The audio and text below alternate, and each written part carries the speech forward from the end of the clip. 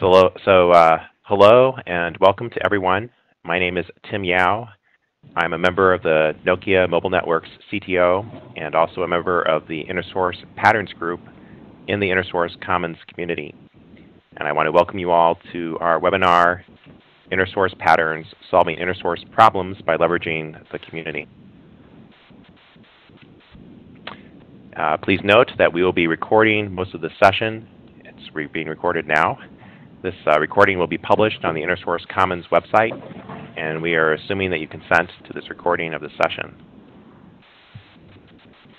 The uh, InnerSource Commons is an open source styled knowledge sharing community comprising over 60 companies and institutions. It uses two in-person summits each year. Uh, the next one is uh, Geneva, April, I want to say 18th through the 20th. Um, to do uh, the knowledge sharing, and it has over 140 members in the Slack channel.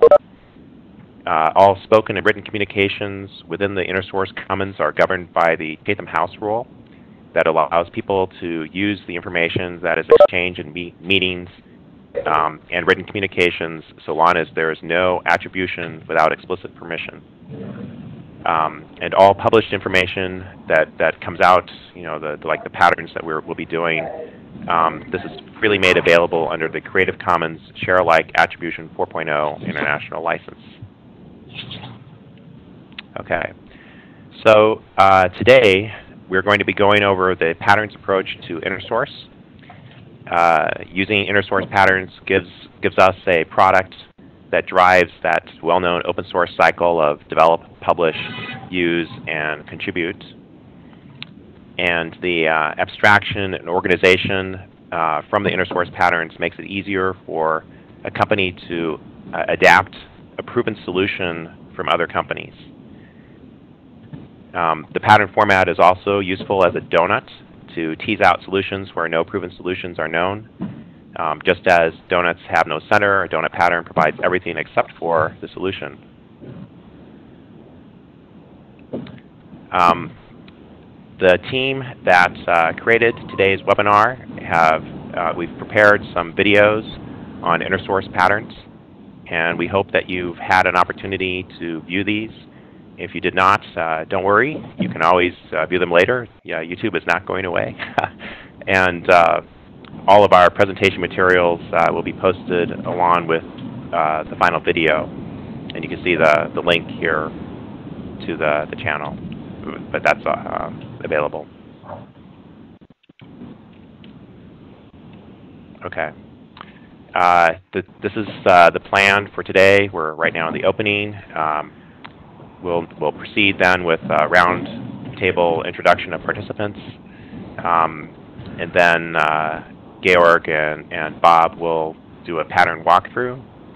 And then Nick and Daniel will create a donut pattern using GitHub uh, to kind of demonstrate uh, how, to, how to use GitHub um, for that uh, solution. And then uh, Erin and, and I and uh, Padma uh, will, will go through the pattern uh, writing exercise. Okay, so at this point, um, we're going to go through um, introductions. So let me pause the recording. All right, we are, are now recording again. So at this point, I'm going to turn over control to Georg and Bob for the pattern walkthrough. Georg and I were going to go through an example pattern and uh, give you an idea of what goes into a pattern and what a pattern looks like. So next slide, you can see the whole pattern here and it's not real big. It's um, a good introductory size pattern. Um, I've been around the pattern community for a long time, and patterns start, you know, this size and might evolve to be many pages. Um, but our, this is a very useful size because it's something that can be um, reviewed and and understood concisely and easily um, at any given time. Um, so the title of this pattern is Common Requirements, and we will be looking more at what that means as we go through. Um, so you're going to see eventually that this is becomes the solution to the pattern. And sometimes the titles represent the solution, sometimes the titles represent the problem, sometimes the titles are catchy titles. And there's a place for each of them, although I recommend from experience to kind of stay away from the catchy titles unless everyone in the community knows what that means. So here's the problem statement. The common code is in a shared repository that isn't meeting the needs of all the projects that want to use it. So this is a real problem. I mean, this seems pretty straightforward. The there is a repository, so that's a good thing, but it isn't meeting the needs of the projects that want to use it. Um, and problems don't exist in isolation, they exist inside some context. The context is the next section that we're going to look at, and it's the things that can't be changed. They're like the unmovable walls in a building architecture. Um, you know, and in systems, we have the same kinds of things, that, the base assumptions and constructs that we absolutely can't change. Sometimes it's organizational, that we can't possibly work on this part of the system because that other organization does it and, and so on. So let's take a look at the context. So, so this is the whole context, but we'll break it down and we'll look at it in, in smaller chunks. Um, one of the pieces of context is there's common code that's contributed. Um, it's contributed by someone, some project at some point in time. There is a shared repository, so that's something that you know we've already got something going we're trying to share code and we've got the repository built, so that's a good thing. Um, the pattern works in cases of either strong or weak code ownership. And then many projects are trying to use the same code.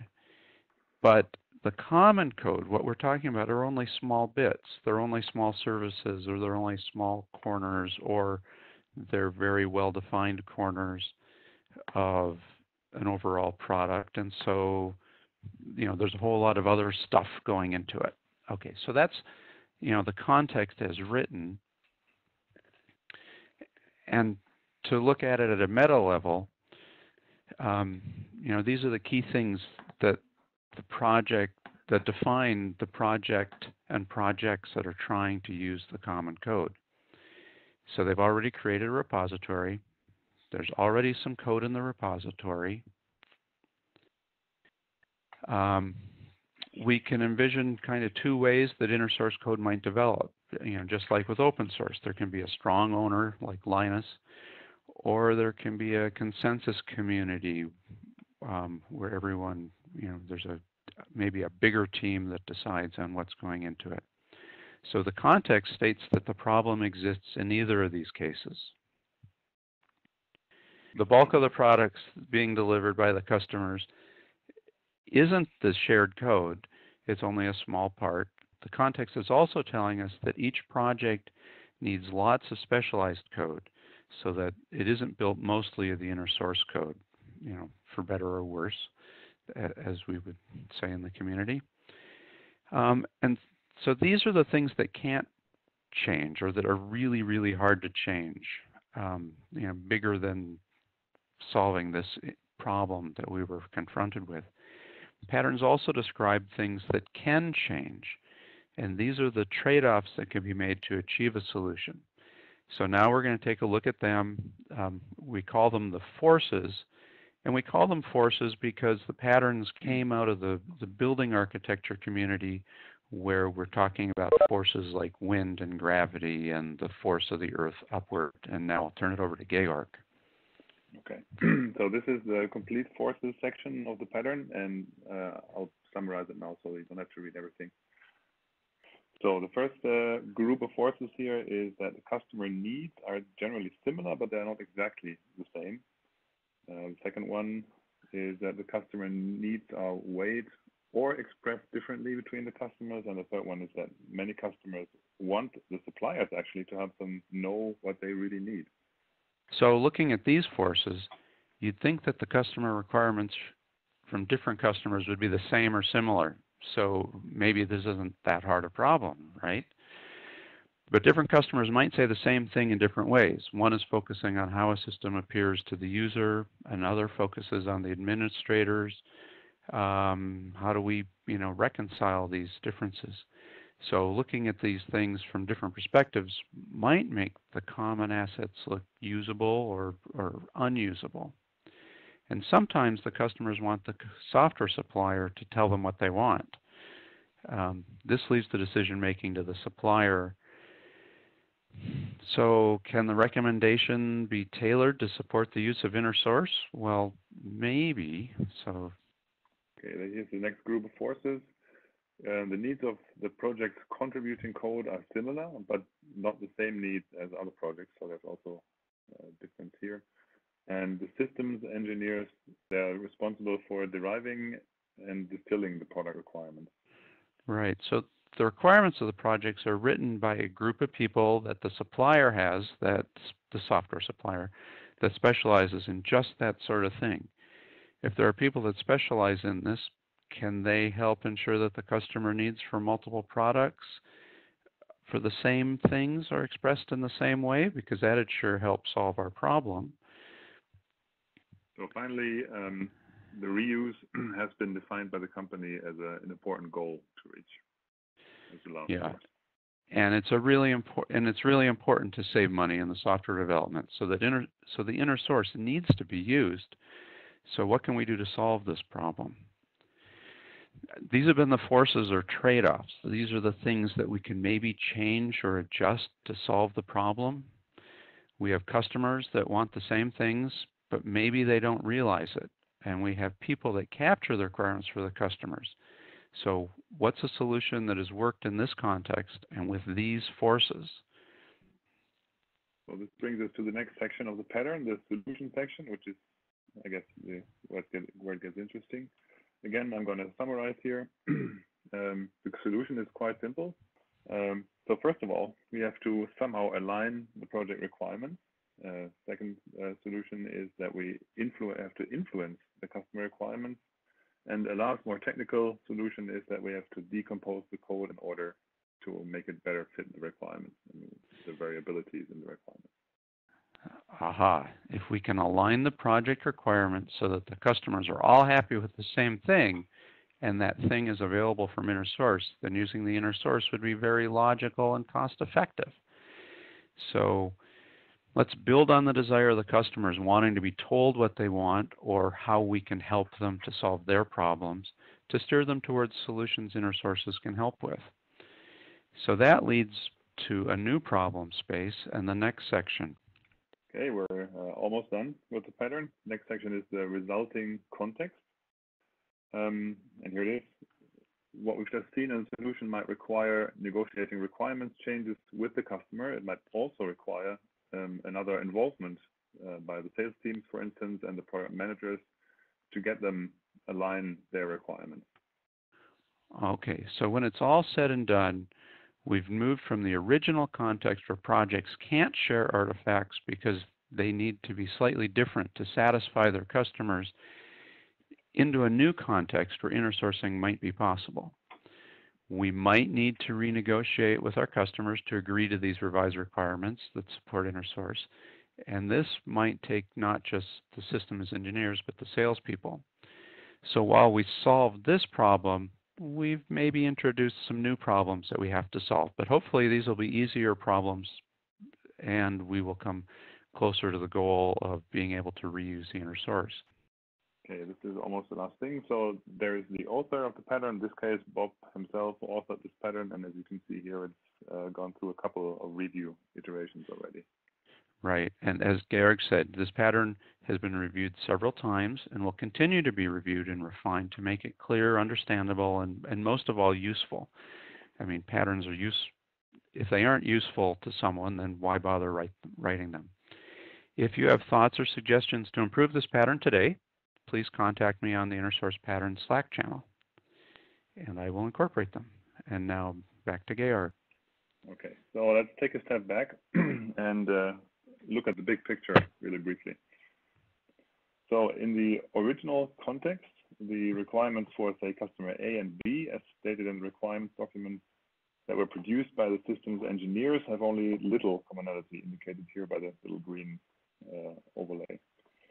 And uh, this is due to a number of forces which have been, uh, which are induced by various internal and, and external stakeholders, which are described in the forces section.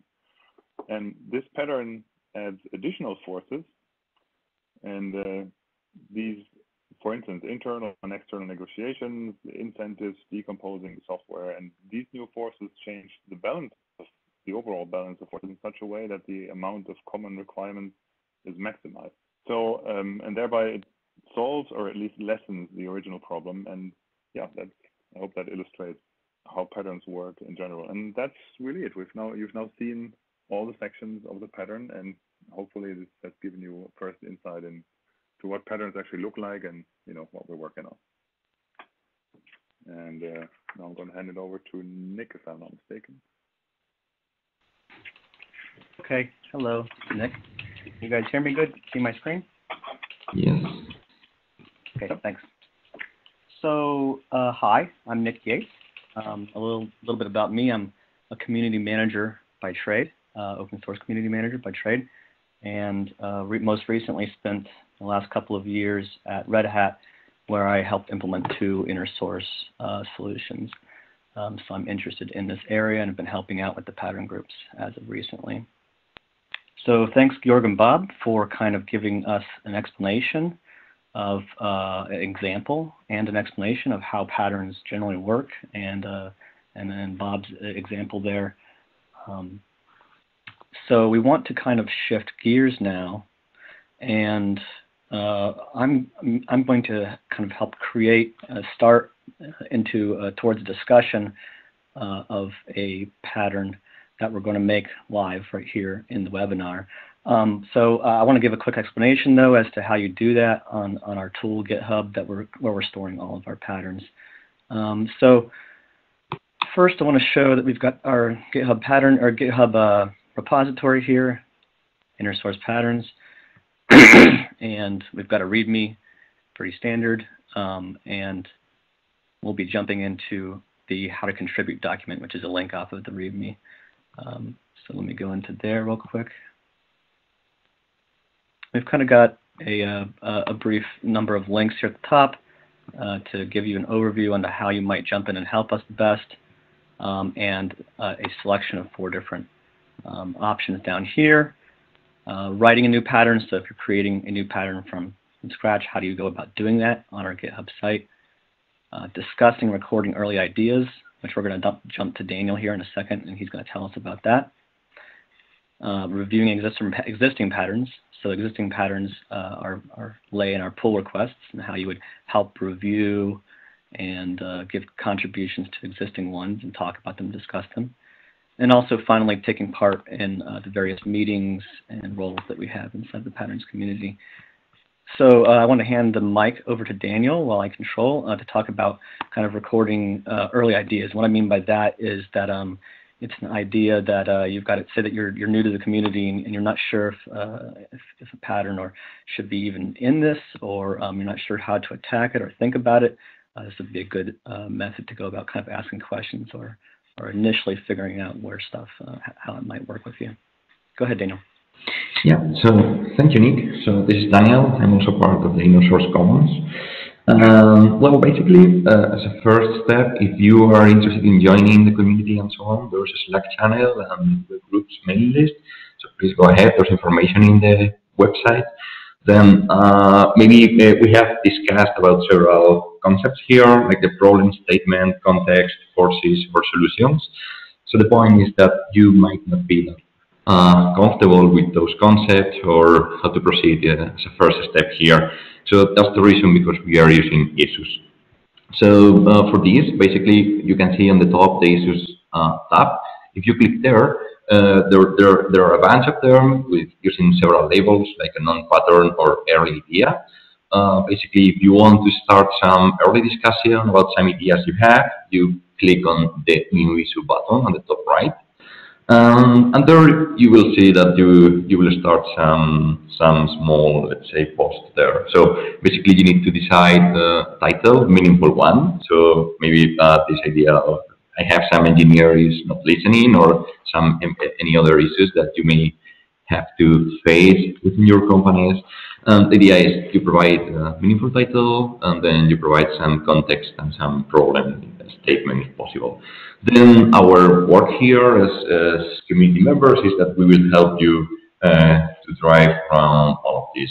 Please remember to use as a label uh, the label early idea or idea. Yeah, early idea is there. And then basically submit the new issue. So this will be assigned to any of us, and then we will proceed and, and help you. Then if you feel that you are uh, a more advanced user than this, uh, basically Nick will drive you around the pull request. So the point is that you will have to open a pull request, and then we will see how this how this works. So Nick, please. Yep. So now we're going to take on the point of view that uh, we're actually live creating a new uh, pattern here. And so we're writing a new pattern. Uh, I'm not going to uh, read through all these instructions, but I'm actually going to lead us through them. So you start at the top of the repository. I'm going to go through this pretty quickly to save some time. Create a new file. Uh, you can name your file. We're actually doing a pattern on called not invented here. MD is a markdown format. And uh, I've already got open kind of a skeleton file here that's got all the different sections. Now you'll notice here these match what uh, uh, Georg and, and, Bob are going through, the problem statement, the context, the forces.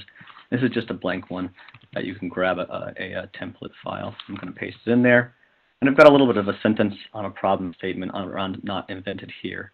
Uh, perfectly good solutions are being rejected because of not invented here. Engineers and their managers will choose to implement functionality themselves, even if an alternative exists, as in even if an alternative in uh, open source within the company or open, so, uh, open source, uh, it does exist. So I'm going to paste that in there. That's what we'll kind of start with as a nugget. I'm going to be handing this off in a little bit to Erin and her team to then kind of discuss with the rest of us uh, and try to kind of brainstorm around filling in the rest of, of, of this pattern. So I'm scroll down. you can type in a commit here, create a new file, create a new file. You can type detail if you want. We're not going to spend the time right now. Uh, because I'm a trusted contributor, I get to do a new branch. You might not always get this option, but let's go ahead and make a new branch. We say propose new file? Uh, by the way, um, this is one very simple method about interfacing with GitHub. Uh, obviously, you can also do all of this via the command line, and we have instructions for that on our contributing site. Uh, so you're creating a, a, new, I'm going to call this invented here. So we're making a pull request, and this is going to say, hey, Patterns community, uh, I have some content that I've drafted up, and I'm going to put it out there. Now, it does not need to be complete whatsoever. Uh, it can be just the start of an idea, and uh, you can very easily add to any pull request or branch. Um, and I usually, in the uh, explanation of the, the pull request, put kind of a brief summary of what it's even about because people will be sometimes coming through here and, and looking at that as a quick uh, eye to understand what it is. You can add reviewers, um, but you really don't need to worry about these if, if you're not sure as to how what labels to put on. But um, on this one, we'll say that it's incomplete for now and a donut as in it lacks a solution. We have a problem but no solution. That's kind of the maturity of it right now and we're going to create this pull request. Okay, uh, so we have a pull request out there. We actually have 13 of them. You can see them here, a whole bunch of them in different uh, states. Um, and we've got not invented here, one at the very top there. I'm going to hand it off to Erin and Tim to uh, jump into a discussion with the rest of uh, the group here about this. Thanks, Nick. So um, my is Erin Bank, and one of the programs that I manage is an InnerSource program for um, for engineers. And as Nick mentioned, uh, we'd like to walk through each section of this donut that Nick was just referring to to give you a better idea of how you can contribute. And I welcome your collaboration, so I'll be pausing for, for input and, and your thoughts, and we can brainstorm on this topic. So um, I know Tim is going to, to actually bring up the actual donut and, and capture our discussion as we go along. Um, but before we delve into that, uh, we start with the problem statement. So we should probably discuss what is meant by not invented here. Uh, would anyone like to speak to that? Does anyone have thoughts on what not invented here refers to?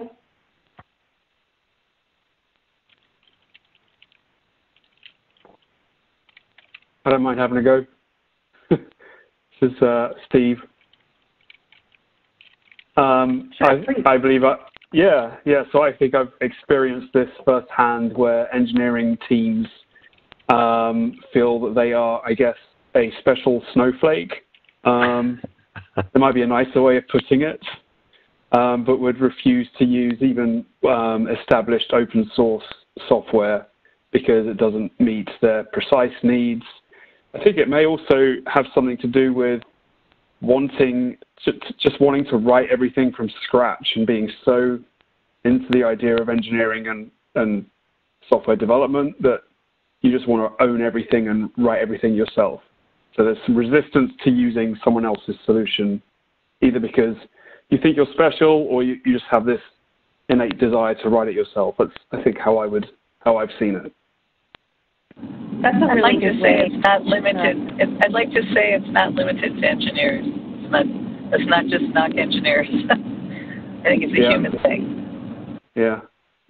Yeah, I think it's a common mindset that, that is seen, and and as Steve was talking about it, it, it could be you know just just a feeling that that something that is created in house or, or by you is is just going to be superior or maybe more secure or maybe you can do it more quickly, or, or it's going to be cheaper. Um, you know, trust can also be an issue. We trust our team and our code. We haven't worked with you to establish trust, so your code might be sketchy. It might break our build. In, in you know, in the uh, from the perspective of an engineer. So there could be many concerns that lead to this mindset, and some are valid and some are irrational. Um, any other feedback on not invented here or thoughts that people want to share before we move on? And take a look at the problem statement. Okay, so the problem that's been put forth here is that because of not invented here, good code is being rejected. Does that problem resonate with anyone? I know I've seen this. I think I think we've we've definitely seen it here at Nokia. Yeah, same here. One thing to add, Erin, would be that if you, you know, do not reuse stuff and reinvent everything again, you maybe also make the same mistakes all over again. You basically you forego a chance to learn and iterate and get better at this stuff. It's always the first iteration of everything if you do it this way. Yeah, I think that's a good point. And and and the problem statement is it states that good code is being rejected, but what's the downside of that? What's the impact? And and as you just mentioned, right? Um, duplicative development, redundancy, um, reinventing the wheel. So, so building the same thing uh, many times in many ways. And, and you're right. If, if the original if um, if the original code um, contains errors and, and, there's no collaboration, then, then maybe that's not going to be found. Um, slower time to market because instead of reusing, you're rewriting. Um, if it's internal code, no trust is being built through collaboration and this can hinder open innovation and maybe missing out on, on better technology. So maybe we add to the problem statement that as a result, developers are incurring cost and time writing redundant, possibly inferior code, and are missing opportunities to establish the trust that could lead to more open innovation. Because that's why we really care about, you know, the code being rejected. Any further thoughts on that before we get into the context? Yeah, so I have a question. Um, so when we define a problem, you know, what kind of information do we actually put in there? Because when we were talking about, when Bob and Georg were talking about how to write patterns, the takeaway was that the problem statement would just talk about the problem, not so much about the results. So what is the right approach here? I think that's a good question, and I would steer that towards um, towards Bob or one of the pattern aficionados. What I always like to do when I start with anything, well, first I ask who's my customer, but then I, I ask what problem am I solving, and I and I I think about what the problem is, and I ask why why do I care, right? What's the impact? So um, I think it's something a good thing to focus on, um, whether uh, you want to include it in the problem statement or not. Um, I would probably go back to, like I said, the pattern aficionados to tell us the do's and don'ts there. Does anyone have input? And putting the pro putting the the whys in the problem statement that that's reasonable. The whys might also come out in the context um, because you're it's kind of laying out the field of what where the problem exists. You know why why do we have this problem and it's because of the context we're in. well, one thing that helps me, if I might, that is uh, what happens if we don't apply the solution or if we don't uh, uh, do something about the situation.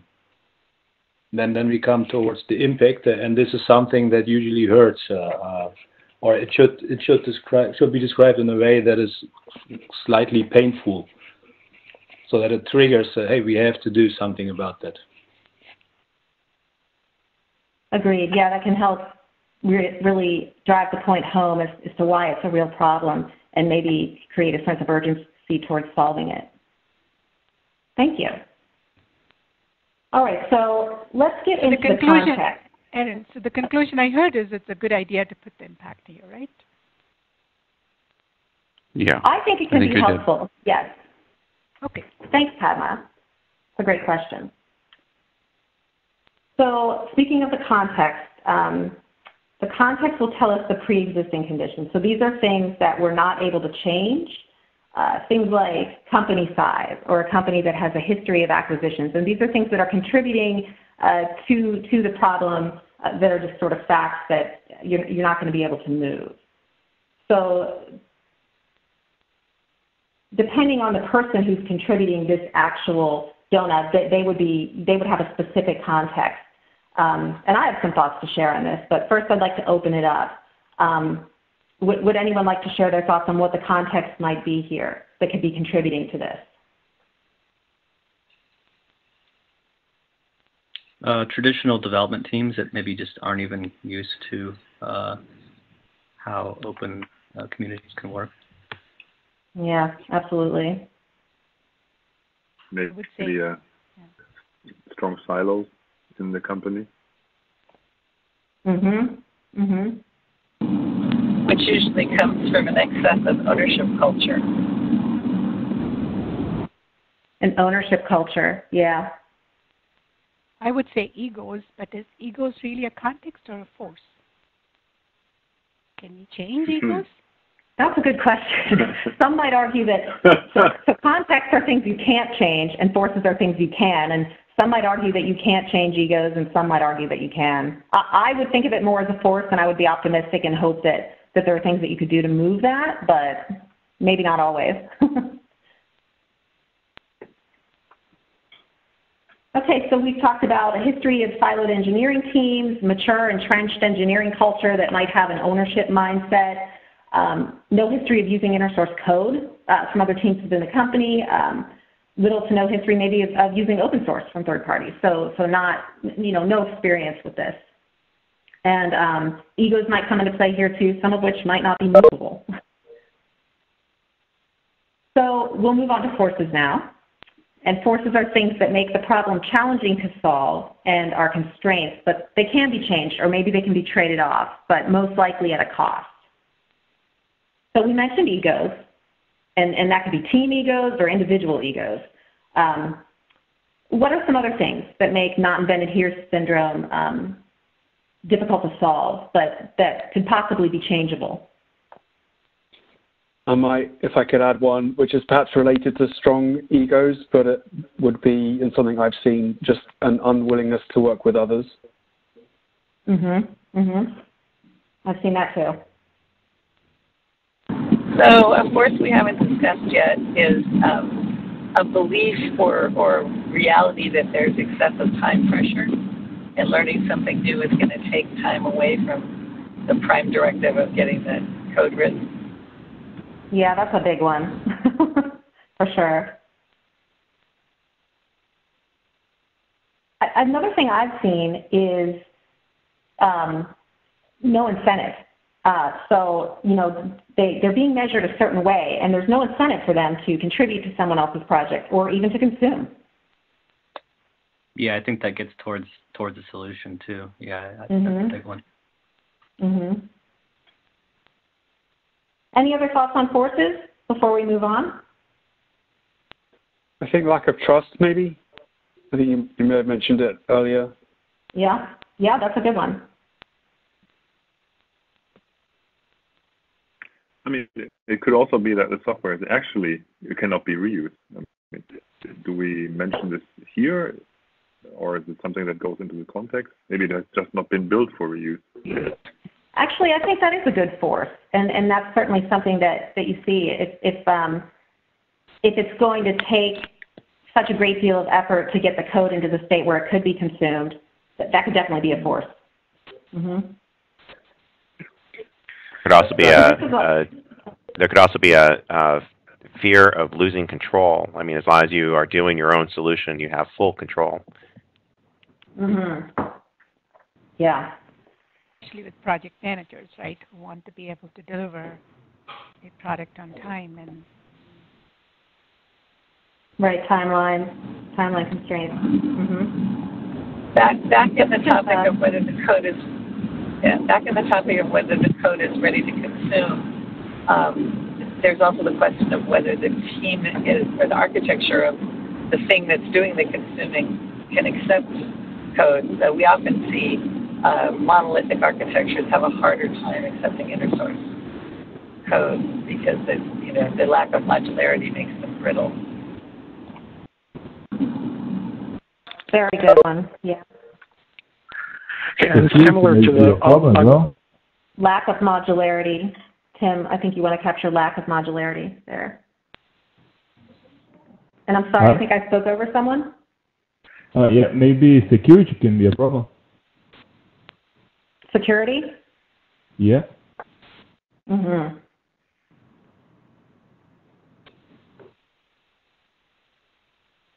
So I think we see that there, are, there could be a long laundry list of forces uh, that contribute to this. And, and, and, and that's a good thing because it, it gives you opportunities to see which levers you can pull to maybe make some, some movement here. Uh, let's see. So we're coming to the, to the bottom of the hour. Um, in terms of the solution, um, I recently read a good blog by Oana Maria Pop, who, who's a researcher in open innovation at the Hasselt University in Belgium. And it touched on this topic. And she provided what she referred to as a prescription to improve the self-optimal decision making that results from not invented here. And the first part of the prescription that she gave was to first acknowledge that not invented here exists, and then assess its current impact on your open innovation efforts. So in other words, how many opportunities have you missed uh, because of this? So the next part then is, is building explicit incentives to overcome uh, things like reward programs. And, and we mentioned this um, when we were talking about, about context. Um, engaging people outside of um, the organization in the strategy and evaluation phases to receive fresh perspectives on, on your projects.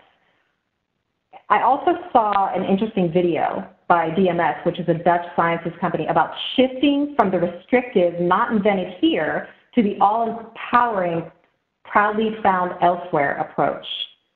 And, and I'll, I'll end with this. They say it pays to look outside one's own area, finding others with technology that can help move projects forward. This is called open innovation. And instead of the solid walls of the product development funnel, the open innovation funnel has permeable walls. So information and ideas flow in and out. And the result is a greater chance of success, and all of it happens much faster. Um, so I wanted to ask if anyone has um, some, some success story that they want to share um, and experience with overcoming not invented here. And I know we've got two minutes left. so I'm not sure if there's really time to delve into it. Um, anyone have some thoughts they want to share?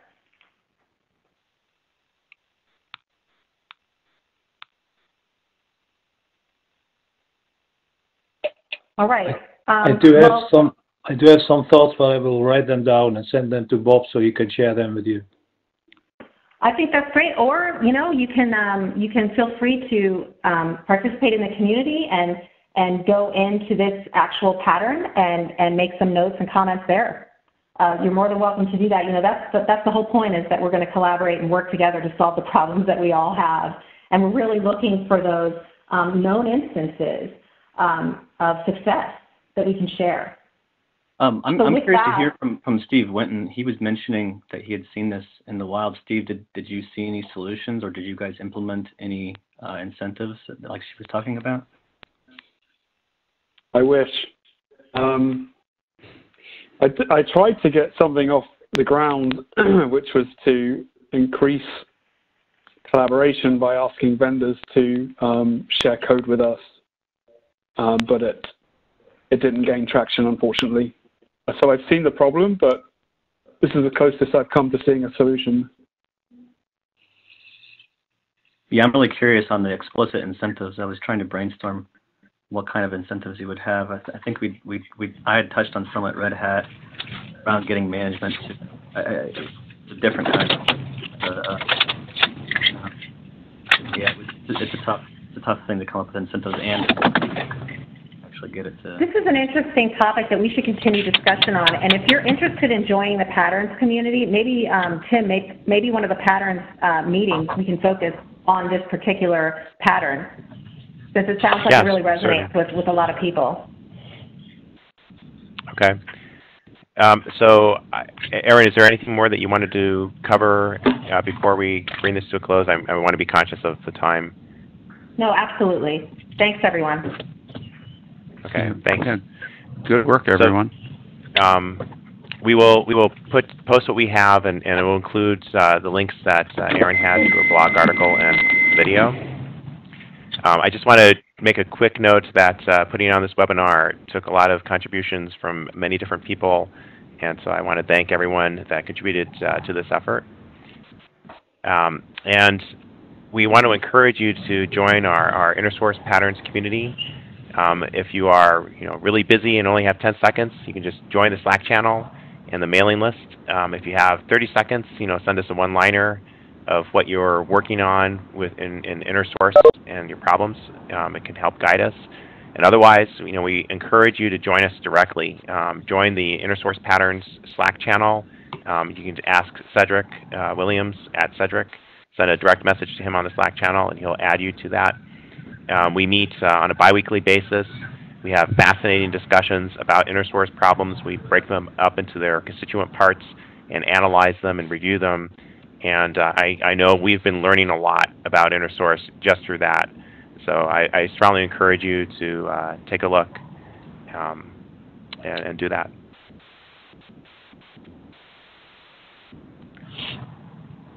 Uh, otherwise, um, you know, we will post this video and, and our notes at uh, innersourcecommons.org.